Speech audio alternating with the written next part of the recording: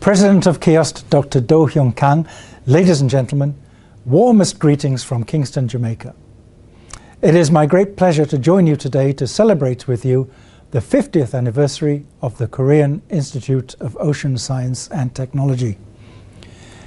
My sincere congratulations go to KIOST for reaching such a remarkable milestone. A milestone that represents not only decades of groundbreaking achievement, but also a bright future with greater ambition. Over these decades, KIOST has made a significant contribution to international cooperation in marine science and ocean technology. It symbolizes the excellence and dedication of its staff. The International Seabed Authority has been collaborating with KIOST for more than 30 years. As the organization mandated by the United Nations Convention on the Law of the Sea to organize and control all activities related to mineral resources in the international seabed area, our collaboration with KIOST has been essential to the overall progress made in improving our knowledge and understanding of the deep sea and its ecosystems. Science is at the core of the work that we do at ISA, so the contribution of scientific institutions like KIOST is critical. The data collected and knowledge generated directly inform the way that ISA, as custodian of 54% of the world's seabed, manages and develops the area and its resources, applying a precautionary approach and for the benefit of humanity.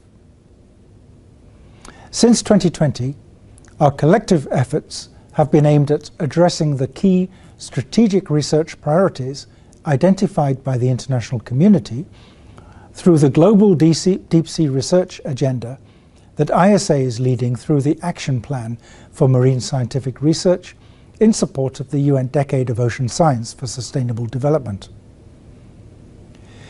Through KIOST, the government of the Republic of Korea sponsors three contracts for exploration for polymetallic nodules, polymetallic sulfides, and cobalt-rich crusts.